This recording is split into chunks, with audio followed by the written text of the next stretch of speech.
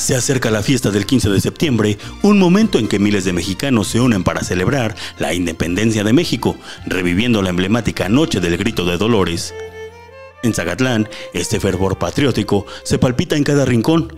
La zona del mercado se viste de colores con adornos tricolores que rinden homenaje a esta gran celebración.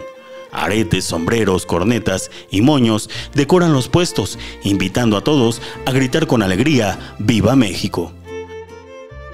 Hoy recorrimos las calles de este pueblo mágico y preguntamos a los ciudadanos cómo celebran la Noche del Grito. Sus respuestas, llenas de emoción y tradiciones, reflejan el profundo amor por su patria. Eh, cenando en familia. Cenando en familia. ¿Qué es Sí. cenan regularmente? Eh, los antojitos pozole, este, los tlacoyitos, eh, los pambazos también. Ajá. Más o menos cuánto se gasta en su cena. Pues como nos cooperamos, pues yo creo que unos 200, 300 más o menos. Dando el grito también. También. En familia, ¿En familia hacen alguna cena? Sí, algo así? cenas. ¿Qué cenan? mm, pues depende de la ocasión, pozole, antojitos, este, pues sí, comida típica. Ay, normal. Normal. Sí, nos ¿Cena vamos al- algo? La pozoliza. La pozoliza. Más o menos cuánto se gasta en su cena.